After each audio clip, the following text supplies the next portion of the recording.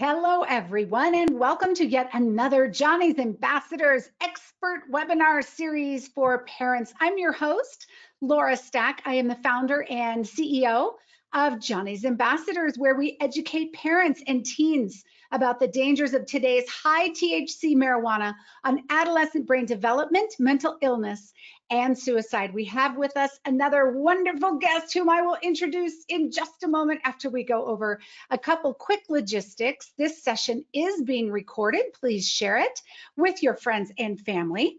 Uh, Crystal has provided a handout for you, which you can find either on the page if you are watching this as a recording, or if you're live, it is in your GoToWebinar control panel under the handout section. Uh, we will be going for about 45 minutes here, and then at the end, Crystal will take about 15 minutes of your questions. So please type them into the question box as you think of them, and I will read those to her at the end. So without any further ado, I would love to introduce Dr. Crystal Collier, who has been working with adolescents and adults suffering from behavioral health issues such as substance abuse since 1991 and possesses a talent for making complex research and brain science easy to understand. Dr. Collier created a comprehensive prevention model to teach the neurodevelopmental effects of risky behavior to children, teens, and parents. Crystal teaches counseling skills and addiction classes as an adjunct professor. And in 2019, the Houston Counseling Association named her Counselor of the Year. She recently published her new book, which you see on the screen here, The Neuro Whereabouts Guide, and she is one of Johnny's Ambassadors Scientific Advisory Board members. Crystal, thank you so much for being with us here today. Absolutely. Thank you, Laura. I really am honored to be asked to do this. Thank so you. So our topic today is interventions for youth behavioral issues.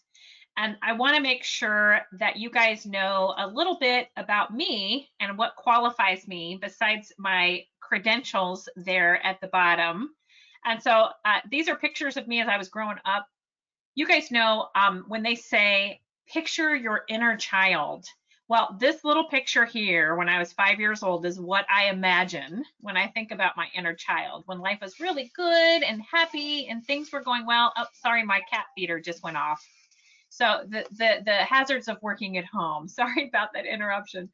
But um, so here I am about five years old and, and, and life was really good. My parents were still together. But then at about 11, 12, this picture was taken. That's when they got a divorce and well, I moved with my mom and started moving into a different um, a school environment just about every year and started really struggling with social anxiety and when a cute boy said, well, why don't you try some alcohol? I thought, no, but that worked so well.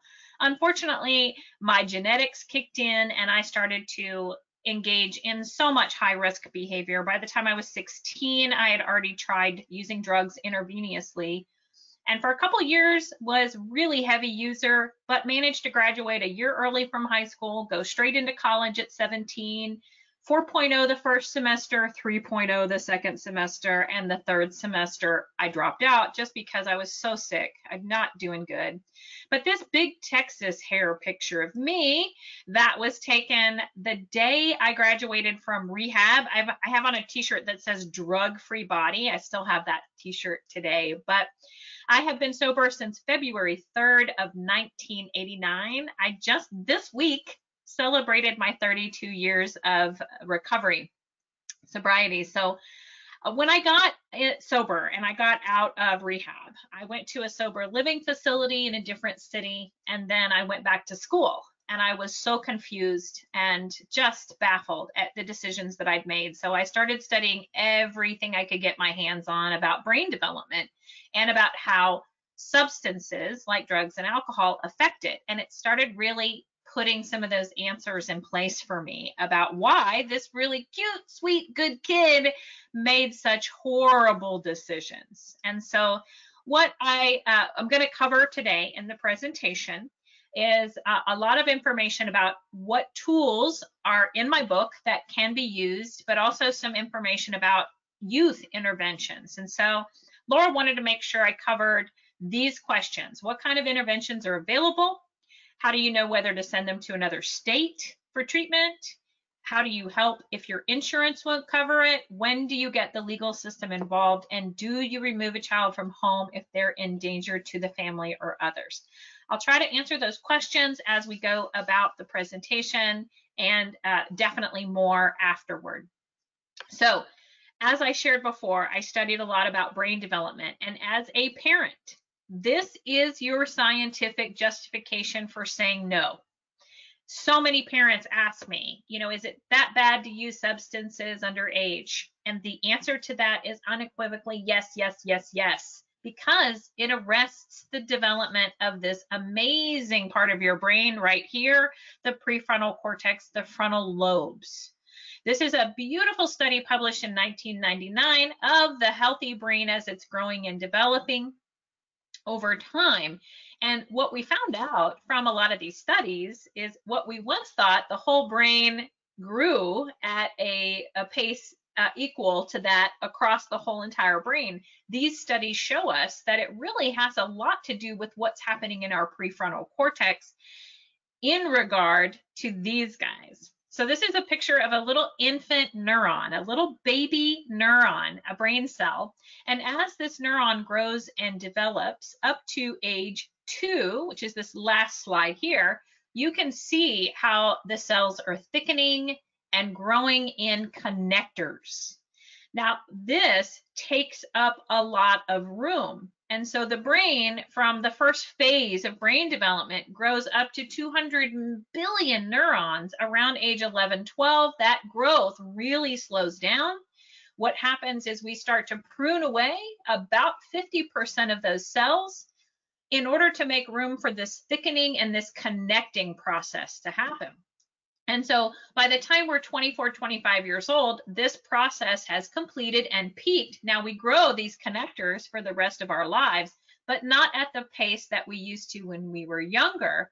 Our brain develops based upon this principle, the use it or lose it principle. This is important for parents to remember because the cells your kids are using are the ones that stay behind, thicken, and make those long connectors. The ones they're not using, unfortunately, do not. Those are the ones that get pruned away or potentially don't grow at all. Now, when I say the skills, the things that their brain is using, these are the skills that I want you to focus in on as a parent.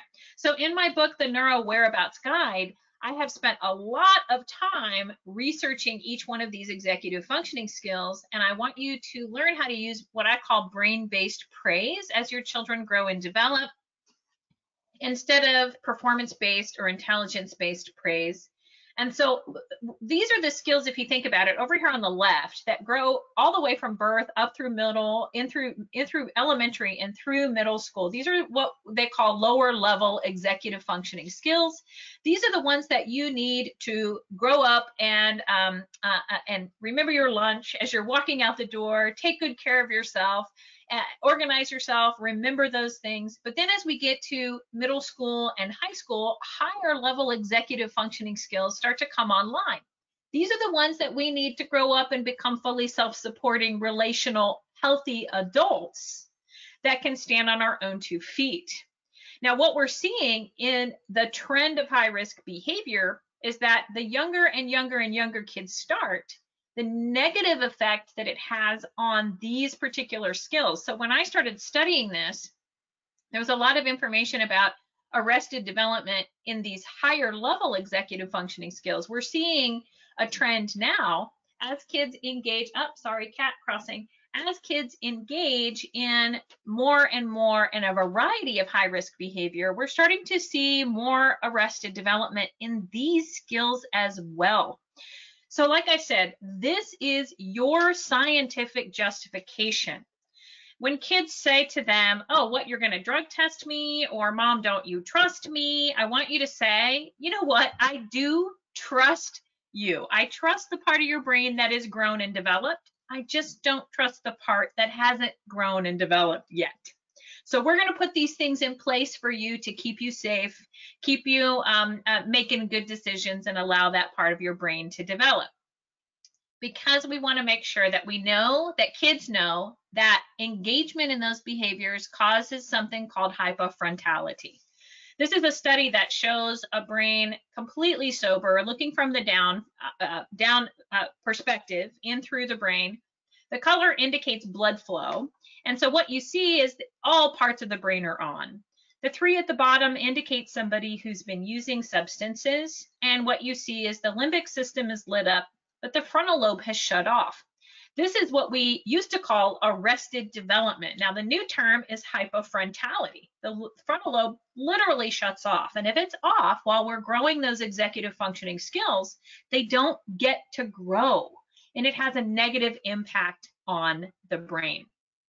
Okay, so in my book, The Neuro Whereabouts Guide, I was just uh, uh, letting Laura know I spent the past four years of my life researching different behaviors and what prevention science says is important to prevent things from happening at all, prevent them from continuing if kids experiment, but then also how to treat these issues. And as a therapist, I've been working with kids way back since my first job at a psych hospital in 91. I became a licensed therapist in 99 and have been working with kids and families since then. So what today, uh, I want to show you, just point out that in the, the guide, I have got a lot of different things that can help prevent behaviors from happening. But I've also got a lot of things that you can use if they start. And so I'm going to really focus on the tail end here of some of the things that are important for you to know about. Now, the first one is a high risk behavior checklist. So these are the 18 different behaviors that I've spent the past four years doing a literature review on. So I have read as many research articles, websites, guides, government publications, white papers that you can think of on each one of these behaviors and specifically how they affect the brain as it's growing and developing. And what I did is I wanted to put a chart in the book for each one of those so parents could see when they peak, when they start, so that you know when to have your conversations. And then, of course, there are scripts in the book so that you know what to say about each one of them. No topic lasts for more than two to four pages because we just don't pay attention longer than that today. And it's all infographic, so it's really fun to read. But this is important to remember that you have the right as a parent to say no to a lot of these different behaviors while your child still is within your care. Once they turn into an adult, you lose a lot of leverage, but you can always go back and say, you know what, I may have not mentioned this when you were living with me, but this is really important to me and to our family not to engage in this behavior. The next thing, have your feelings. Feel what you feel. It is really critical to not keep these inside when you see your child having issues with different risky behavior. A lot of parents, as a matter of fact, I just literally got a text earlier today that from a woman who found out from her maid that her daughter has been throwing up. And she asked, should I talk to her about it? This is really critical that we do not follow the dysfunctional family rule. The dysfunctional family rule is don't talk, don't trust, don't feel, don't deal with that. And so I think what's happened in uh, uh, parenting, the de development of parenting styles is that many of us have become really scared to approach our kids. And so we think, oh, it'll just work itself out, or if it's a problem, they'll come to me. And this is really, unfortunately, a mistake. We want to make sure that our kids are emotionally literate and talk. Now, a lot of times parents will say to me, but hold on a second. If I validate my child's emotions, aren't I agreeing with their behavior? And uh, the answer to that is absolutely no. So when I have a, uh, my favorite conversation example is when I speak to a kid about marijuana, I may have a child say, don't you understand? Like, doc, it's an herb, it's natural. There's no point in me arguing with that kiddo. but I sure can validate their feelings. And so I always want to say, I can hear that you're really passionate about this. But I need you to know I've studied the effects on the brain and I just got to disagree with your use. But I can hear that you have researched this. So tell me more about what you know. What I just demonstrated is what has been referred to as a validation sandwich. I can validate your feeling, I can disagree with you, but then at the end, I can validate you again to keep you talking. A lot of times when we're scared as a parent, we forget that validation step. So a lot of times too, we may even follow the dysfunctional family rule. So make sure that you're talking about it. And if you have a partner that is uh, uh, let's sleep, sweep this under the rug kind of person, it's important that you reach out to get help. A lot of times parents will come to me individually and they'll get information from me and go home and relay it to their partner who has resisted coming in for help and eventually finally come in themselves. Keep talking, keep dealing, and keep feeling until you can actually get some movement. Okay, now let's talk about how do you determine what type of treatment to use. Now, this is really critical. I've studied this for quite a long time, and this is a chart that I use. I actually draw this at the on the whiteboard in my office when I am working with an adult or a kiddo. And the first thing that I do is I draw that turquoise step. And then I draw what's beneath it first. So I'm going to go through this with you. This is the way that we determine somebody's level of use and then their level of care. So if you notice, the first level of use is experimentation, just trying something one, two, maybe three times. About 87 up to 75 to 87% of all high school students in the United States experiment with drugs and alcohol. So a majority of kids experiment. So it's important not to have a zero tolerance policy. It really irks me when schools have those because you're really saying you have to be absolutely perfect and and and not every kid is the kind of kid who is willing to say no. The next level here is misuse. This is characteristically inconsistent, sporadic engagement in a risky behavior. Sometimes you may have no negative consequences, or sometimes you may have some. A lot of us in our youth misused, but it's interesting. The, the research says about 30 to 40% of American high school students fall in this category. So, what that tells us is that a lot of students choose to experiment but not continue to use, which is good because they may satisfy their curiosity and learn from that and move on and grow and develop. But for those who don't, they may move on to the abuse category. This is when use or engagement in a behavior becomes consistent. That may be every month, every weekend, every other day, that type of consistency. But in order to qualify for the label of abuse, you can't just be consistent users. You also have to face negative consequences, but continue to use despite having faced those consequences.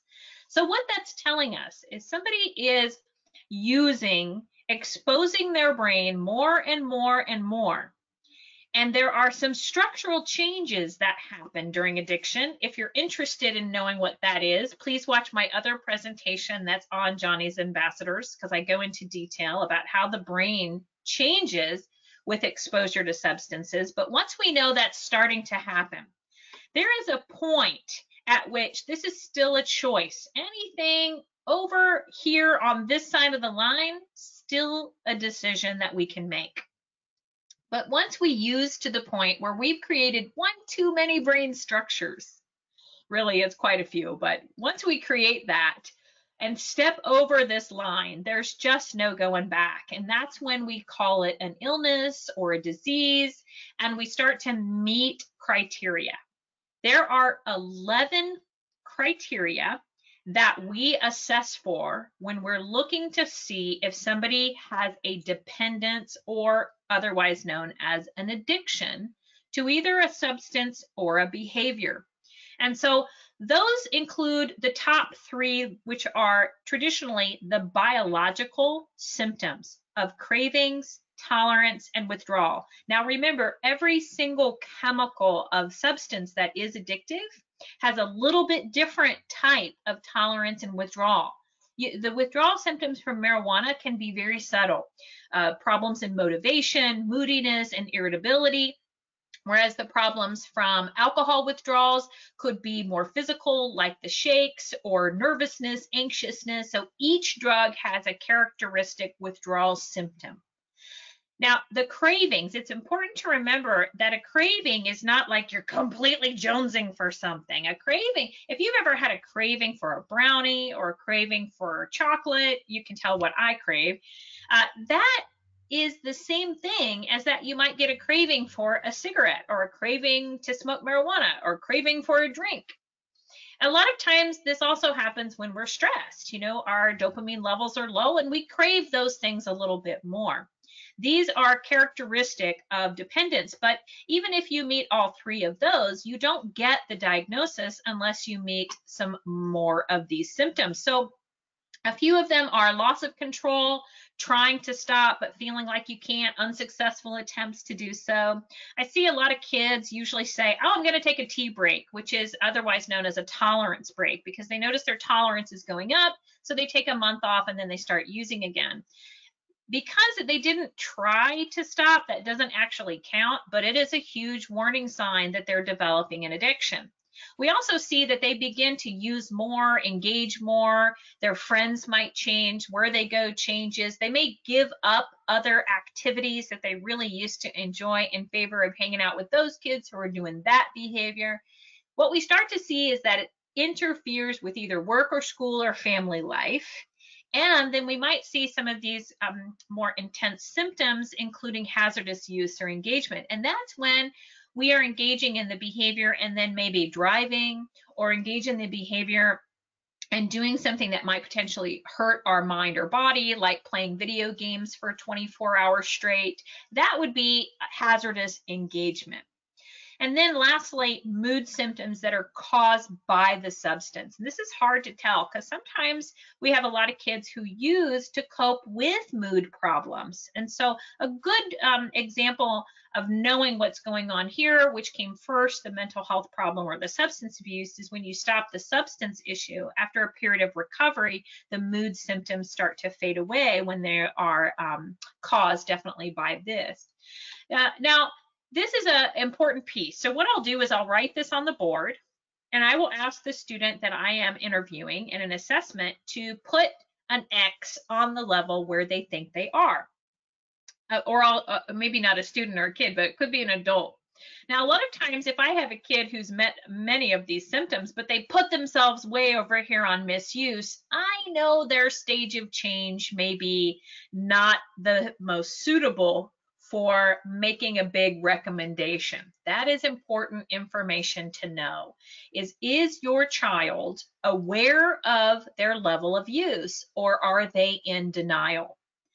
We want to treat that person who's in denial a lot differently than somebody who is completely open and accepting of where they are on this continuum. Now, the next thing I do is say, okay, now that we kind of know where you are, I may agree with you, I may not agree with you. I may put you here. If you put yourself there, that's okay. Let's talk about what treatments are available for youth. Now, I'm going to start back over here under experimentation because when our kids are little, when they're in high school, we can talk, do a lot of prevention. That's really the majority of what my book is about is how to do prevention, how to talk about these different high risk behaviors and what to say.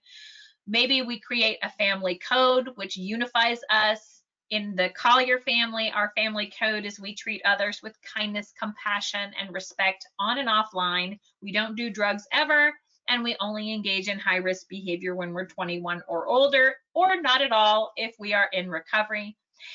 Family dinners are really critical to keep up. The frequency of family dinners, as it goes down, we see high risk behavior go up, but the converse is also true.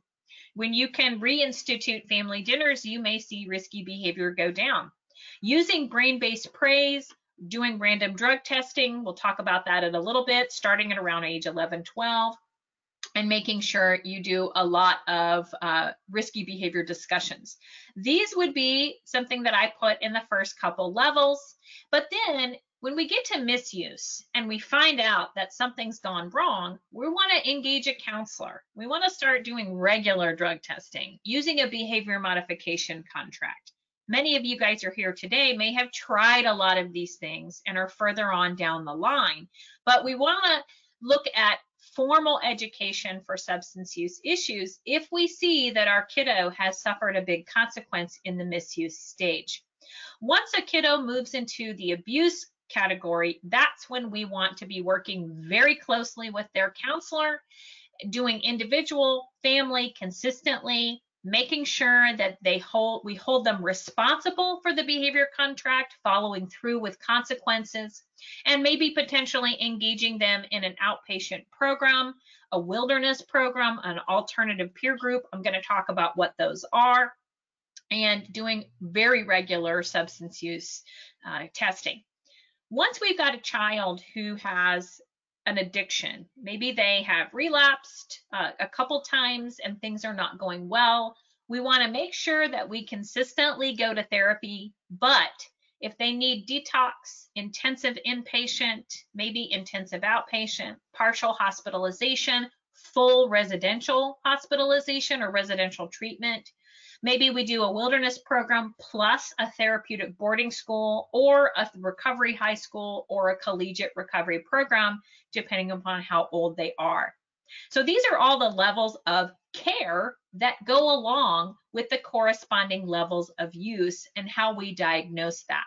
Okay, now I mentioned behavior modification. This is an example, this is in the book in the tools section of a BMOD contract for a kiddo who's been using be sober, follow the rules, and get good grades. And so we always, I just created this for a family last night. Uh, we want to make sure this is individual, but we also want to keep it very simple. If a kiddo is sober, they get to earn all of their privileges. If not, they lose them all for a certain period of time and have an emergency family meeting with their counselor. Now, you put the same, uh, a little bit different rewards in each category, but you don't take them away as long. And remember to take the word punishment, oops, the word punishment out of your vocabulary. Oh, my mouse is really uh, uh, sensitive. Do not use the word punishment, even if they do. When kids say, why are you punishing me? It's very important for you to say, look, we earn rewards and we earn consequences in life. It's really important to use that word consequences and the word earned because we want to start a kiddo. Maybe they're at the abuse level, but they just started treatment.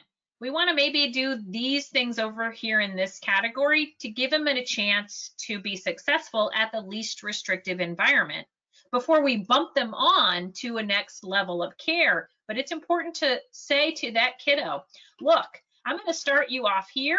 I'm, I, I wanted you to go to rehab, but you're not there yet. You're really in this category. But we're going to start you off with some formal counseling, a behavior contract. And if you do not follow through, if you use again, then we will move you to another level of care. But instead of that being us imposing that on you, you will have earned it. So that's the behavior contract. The next thing that we'll talk about is drug testing. So I believe that this is the number one refusal skill that you can give kids. So once their brain starts to go through the second phase of brain development, around age 11, 12, I want you to give them their birthday presents plus a drug testing cup and say, hey, congratulations, you're going into the second phase of brain development and starting to grow those higher level executive functioning skills. But until your frontal lobe is fully developed, you're not going to have as much impulse control as you will when you're much older. So I'm just going to give you the number one refusal skill. So when you go to that party and you're tempted or somebody offers you something, you can simply say, man, my mom drug tests me. And you'll probably get a lot of empathy from the other kids, like, oh, dude, that sucks, pat on the back you can throw your mom or your dad under the bus rather than having to worry about facing the social pressure of being tempted, which is extremely difficult no matter how good your brain is or what kind of a kid you are. But then when you have seen that your child has engaged, they have used, this is the time to start doing it much more frequently. And I, I suggest drug testing just uh, once or twice a year throughout high school, unless somebody's been using. That's when we want to do it much more regularly. And I don't mean every day, I mean every week. When we get a negative test, we mark the date. And if they use again, we give them the behavior consequence according to the next level of use.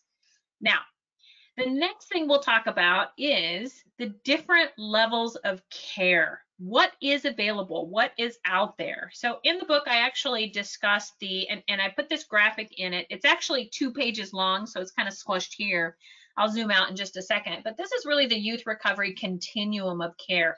We want to make sure we put kiddos in the correct level of care because something negative could happen if we jump to the wrong level. If you've got a kiddo who is, let me go back right here to this one, if you've got a kiddo who's in the misuse stage and you send them to rehab, they're going to be in a group of kids who meet these criteria and teach your child the wrong things. Those are called in research iatrogenic effects. Really, it's learning the bad stuff that we won't, don't want them to learn. So we want to use the right level of care at the right time. So let's talk about this and zoom in a little bit. We want to start off with education and support at assessments, individual therapies, and if your um, uh, uh, insurance does not cover some of this, there are really good low cost uh, uh available things. You can do education online with your kid. They'll probably feel more like a dentist than a parent to get them to engage in it, but that's okay. You want to make sure they have a pretty good consequence and you don't necessarily need them to be comfortable or really, really ready to, to uh, absorb all the information. You just got to let them do it. You can uh, try um, recovery meetings for kids who, who might be uh, available out there to learn something about it. Different uh, therapists specialize in educating kids on these things. Church-based services are really good to get kids into pro-social activities or school-based pro-social things, uh, increasing the amount of pro-social things that they do like sports or clubs can give them less time to engage in the behavior and more exposure to kids who are not engaging in it. And then, of course, do drug testing. Now, please hear me. This is not all or nothing. I've met plenty of kids who use drugs and got their drugs from their church youth group. So uh, we don't want to be naive about this, but we do know that the that more we can do at this point, the um, uh, the the better off we are. If we do nothing or very little, we're basically telling our kid that it's okay to engage in this behavior and not uh, to, to, to do anything about it. The next level would be treatment, and there are all types of different kinds of treatment. They're short term, you can go to a residential, a wilderness, hospitalizations, outpatient programs, and some long term care. Now, one of the things that I've seen happen now because of COVID is that parents are calling their insurance company and saying, hey, my kid's therapist has recommended that they go to a treatment center. Now, uh, it's important that you make sure your therapist knows how to speak to an insurance company and justify that level of care. If it's not completely justified, they may not pay for it. So make sure you go to a therapist and get a proper assessment done on your child so that um, you have documentation of the recommendation and the insurance company will pay for it a lot of times this service might run out. So you want to make sure that you work with a therapist or an agency in your neighborhood that does sliding scale so that you can afford to continue using it. Now, in many places in the world, Houston is the home of alternative peer groups, but they are also all over the country. There is a website that I actually created, and I serve on the board of the Alternative Peer Group Association and I, uh, it's important that uh, you know I actually was in an alternative peer group when I was younger. They didn't actually call it an APG, but it definitely was. It's a support group for kids who um, are in recovery. Now, this is for kids who are in the uh, uh addiction stage and have owned that they have that particular issue. Young people in recovery branches all over the country, you can look up YPR website to find a branch um, for that, get your kids involved in that. Um, aftercare support groups from hospitals or treatment centers are important to keep kids in, even though they're, they may say, oh, I don't want to go to group tonight too bad, dude. That's in the contract. You agreed to it. And of course, if you stay sober and do all the things, you earn all of your rewards. Make sure they're um, uh, doing pro social and sober activities. The next few levels include recovery high schools. Houston is uh, home to the largest recovery high school in the United States, but there are also recovery high schools and uh, schools. So the, one of the questions was, how do you know when to send them to another state for treatment? So uh, there's a particular mother out there, Aubrey. I won't uh, uh, uh, ruin her anonymity, but um, she actually moved her son here to Houston to engage in a recovery high school here. And I think if you've got a kiddo who's just struggling in your city and has difficulty finding sober friends and sober groups to hang out with, or goes to school and that's where all the drugs come from, that may be the time to pull up stakes and move to an area where youth recovery is much more prolific. So one on one academic environment, putting them to a smaller school, spending the money on a, a, a private school that offers one on one. Here in Houston, we have Fusions Academies that are one on one that have been life saving for some of the kids who've really, really struggled in school. It helps them really stabilize just too much uh, a negative social interaction has created a situation where they are not able to thrive academically. So it could also be a therapeutic boarding school. I've had success with a lot of different wilderness programs and long-term therapeutic boarding school, keeping kids there throughout high school, making sure their brain is going to stay clean and sober so that they don't suffer the effects of hypofrontality. And then, of course, uh, once your child turns 18 and you lose leverage, this is one of the most difficult things to do. If you still have leverage and pay for rent or pay for college, please make sure that they earn that hard earned college tuition or rent by staying sober. You can do random drug testing in the city that your child moves to by actually setting them up with a, a drug testing company in that city. Make sure that they sign a HIPAA form so that you can get those drug tests because once they turn 18, as Laura will tell you, if they revoke HIPAA, you don't get any information from their healthcare providers. But if you do random drug testing while they're away to college, you can put them on a, a schedule and have the actual company send them a phone call or a text that says it's time for you to come in for your drug test. And make sure you hold them to it if they are positive for a drug test, what has, has to happen? They either need to go to their collegiate recovery program on that campus if their program has one. Many colleges, over 100 colleges in the United States, have collegiate recovery programs and counselors who are aware of the youth recovery continuum and can support that kiddo. Or they should have to come home and go to potentially um, a, an associate's degree college or get kicked out of the house until they're able to get uh, clean and sober and earn that tuition money again. This is one of the hardest things that I've seen parents have to do is when do I ask my child to leave? Please do not allow them to stay in your home and use drugs. I've watched that backfire for many, many, many years. Parents get afraid of their child being homeless. Please know that many kids who use drugs are smart and intelligent. They have been figuring out how to get their drugs for so many long years that once they get sober, they will figure out how to find a sofa to couch hop on or a place to go. But one thing that might help you make sure that you push them out of the nest is to say, look, I'll pay for a sober living facility, which back in my day was called a halfway house. I lived in a halfway house for about six months in Omaha, Nebraska after I went to treatment uh, in Corpus Christi. I moved to a halfway house there and I lived there for um, six months before I moved out on my own. And it was a great transition. There are halfway houses and three quarter way houses called Oxford houses. You can say, you know what, you can't live in my house and do drugs, but I will pay for your rent not so you can just do whatever you want, but I'll pay for your rent at a sober living facility for one month, two months, three months, and then you're on your own kiddo. I'll also pay for therapy or for you to go to treatment. I'll get you the best that I can possibly afford if you are willing to do so.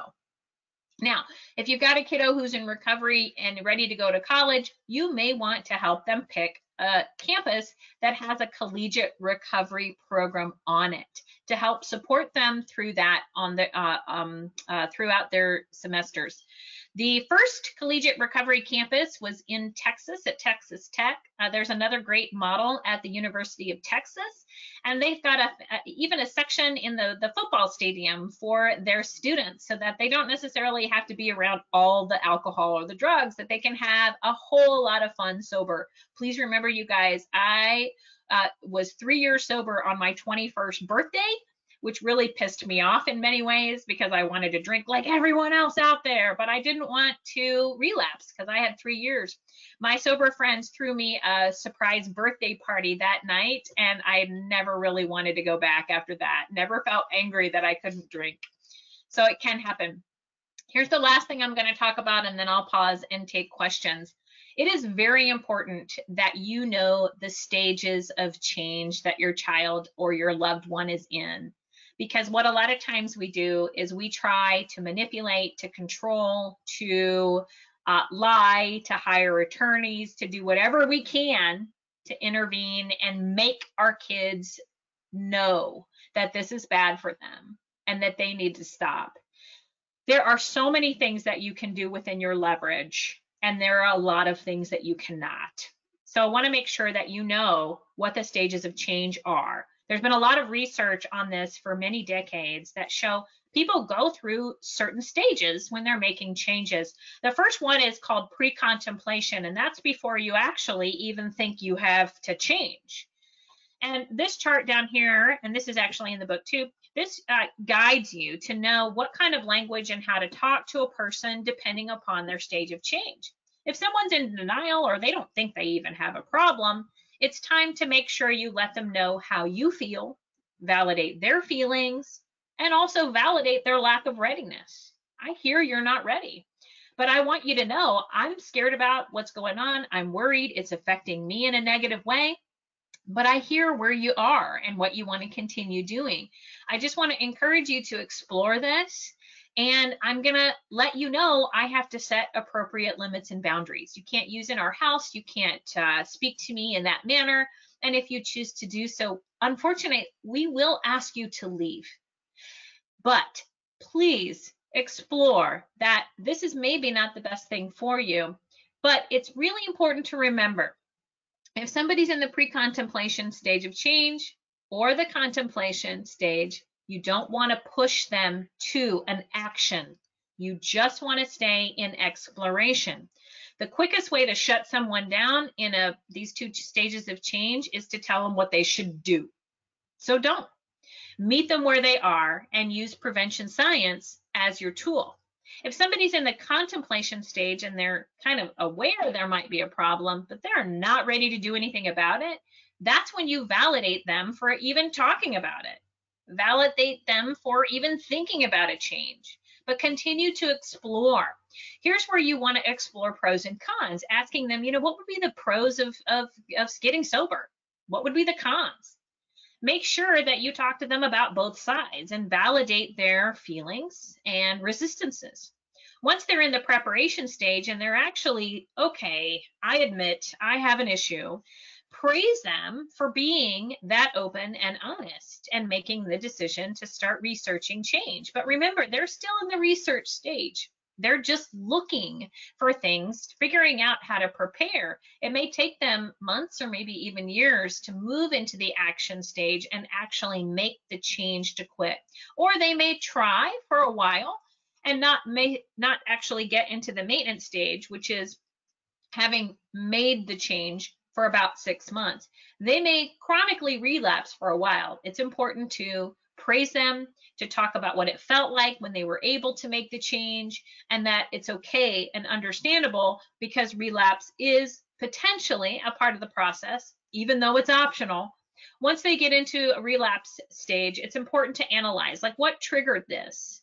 Uh, reassess the motivation to change again, and then uh, boost coping skills and set appropriate boundaries and limits.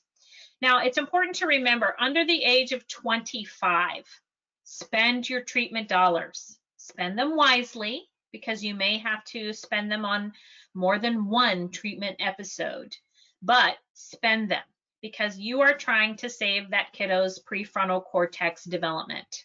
You want to make sure that after the age of 25, you set really thick boundaries and limits and say, look, I love you. I don't want to see you do this. It's not okay to treat yourself that way or to treat us this way. And so we will help you, but within certain limits when you are sober or in recovery, which can be some of the most painful things to do. Having lost a member of my family to alcoholism, I really understand what it feels like to be rejected, to have my help rejected, and to watch somebody suffer, and unfortunately, in my case, even die. So that is, uh, hopefully I've answered a lot of the questions. Uh, one of them was, how do you know that I didn't, how do you know when to get the legal system involved? I actually just talked to a family about this the other day. If a client or, uh, excuse me, if a kiddo is suicidal, we wanna make sure we get them help. Um, a lot of times parents may have to call 911 and ask for a uh, a, a, team that's been trained in mental health. Most cities have 911 agencies that have teams that have been trained to deal with mental health issues.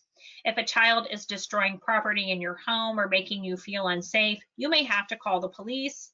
I always tell parents if it's under the age of 18, it most likely will not continue to haunt them on their record afterward. A lot of times kids are safer in jail than they are on the streets.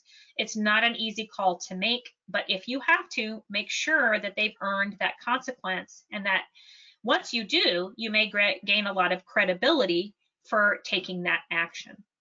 Okay, so I'd like to go ahead and uh, tag team with Laura again to open it up for questions if anyone has them.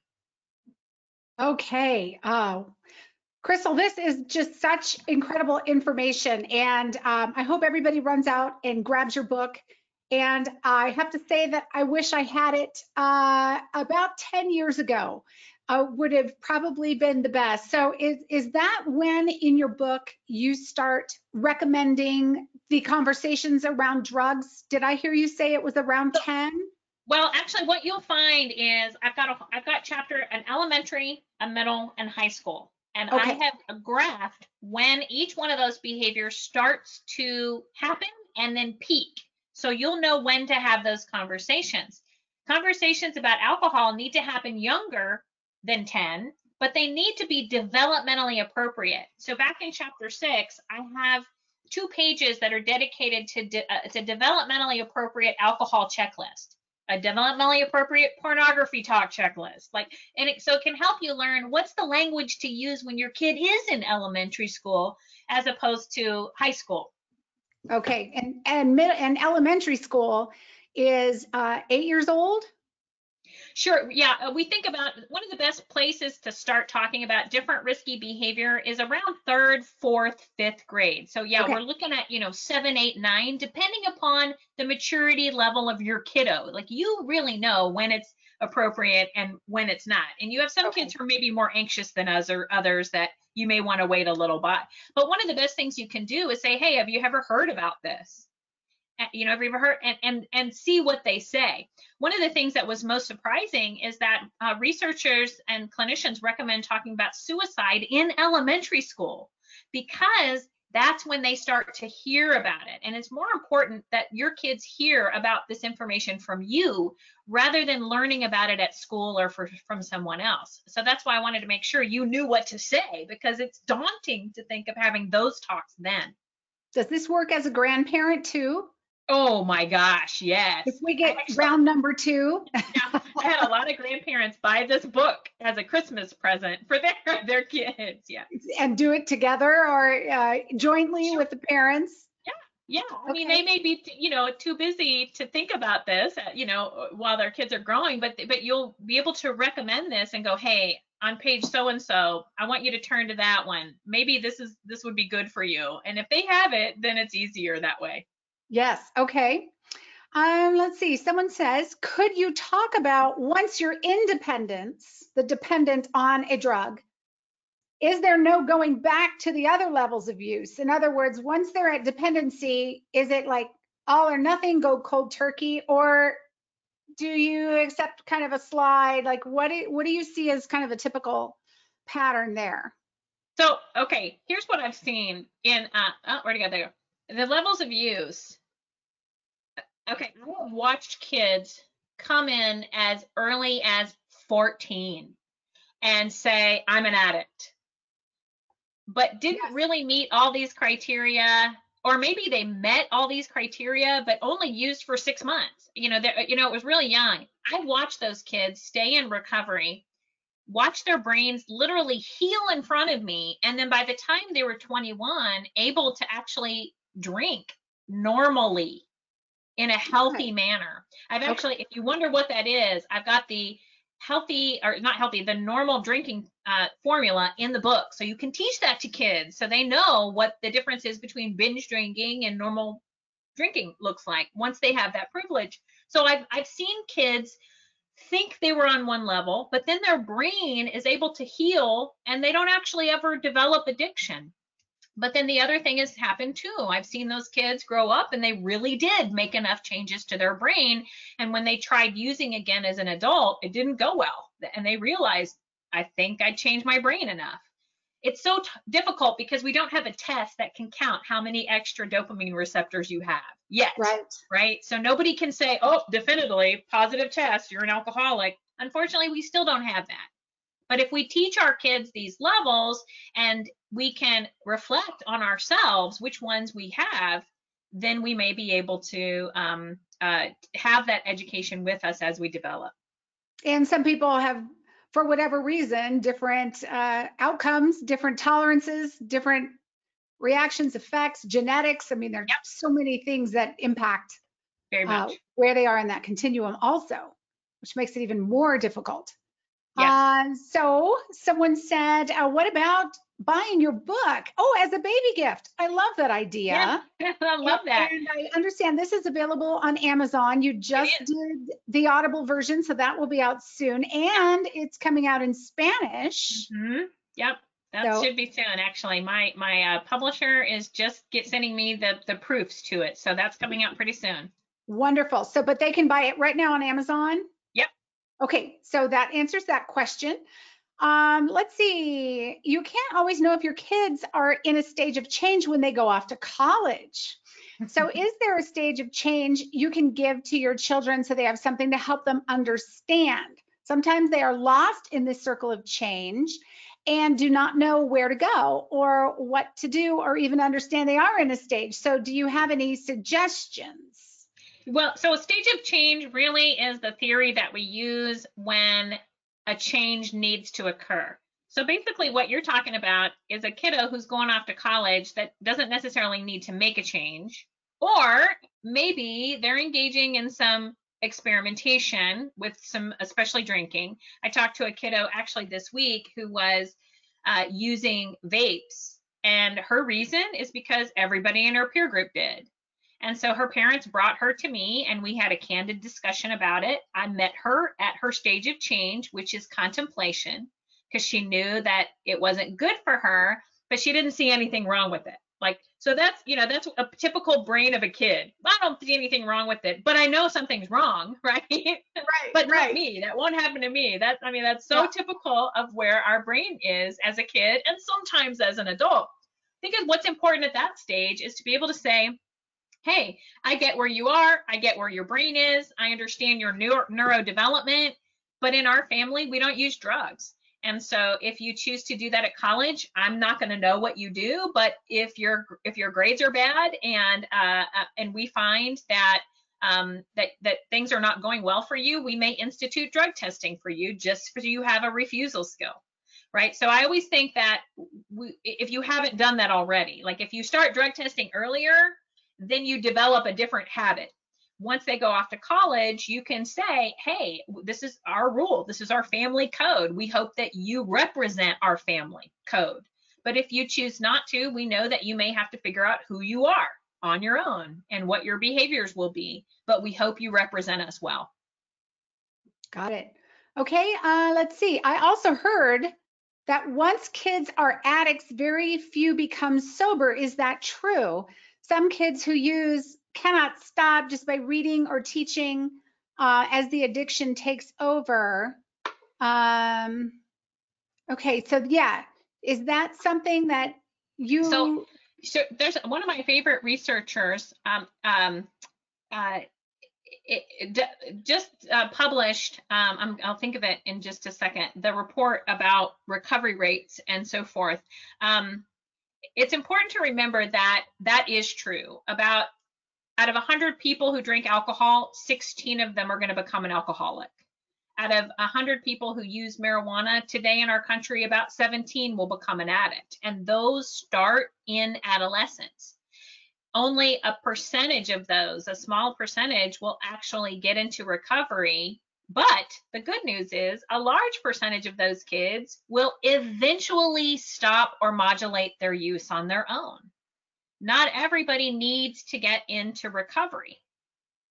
But uh, it's important to remember that a lot of times kids just figure it out. In college, once you hit after freshman year is when drinking and drug use peaks. But from there, it's a downhill slope as kids learn, oh man, I don't like this, isn't working. I didn't do good. You know, they learn their own lessons. But a certain percentage of those kids are not going to learn. They're going to fail. They're going to have major consequences. They're going to need treatment. They're going to need that.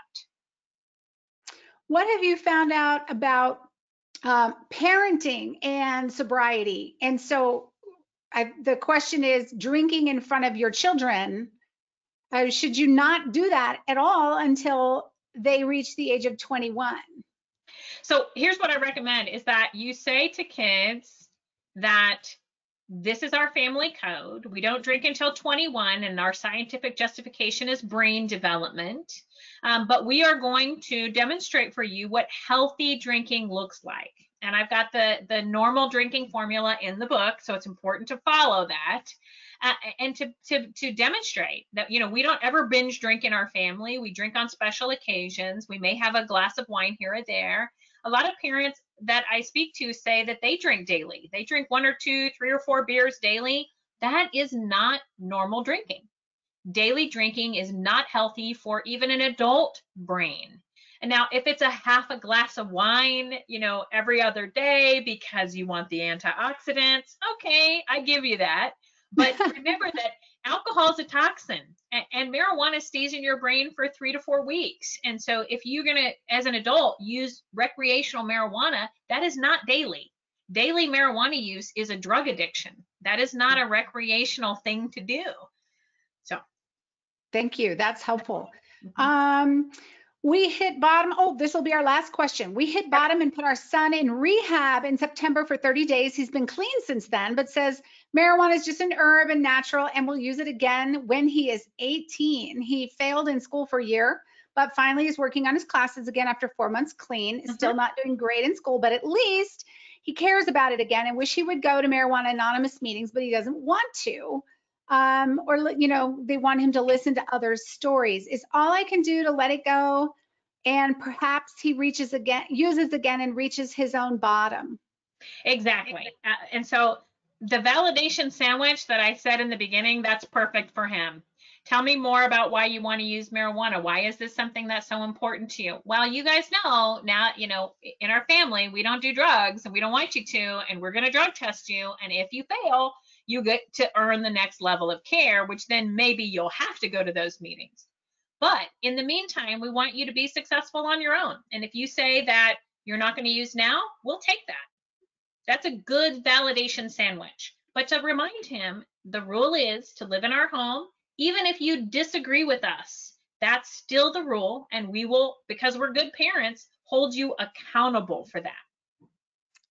Crystal, this is so helpful. Even just the language and the examples um, that you use are great tools. And I think that our parents and our participants will be able to go back and watch this over and over, maybe practice in the mirror uh, with some of it. So we loved um, hearing about the, the stages, the stages of change, your guide. I want to remind everyone that this was uh, a research grant that you were given. The Neuro Whereabouts Guide is a 400 page reference manual. It is in full color. It is not cheap, but it is worth every penny. And there is so much in there that you will be able to refer to. So it's not a front to back read. I want to let everybody know, but it's something that you're supposed to use as a program uh, as a parent throughout the years, correct? Exactly. And I did not mean for it to be so long. I really didn't. It just worked out that way. And the reason it is expensive is because it's all color and it's It's it's, expensive print.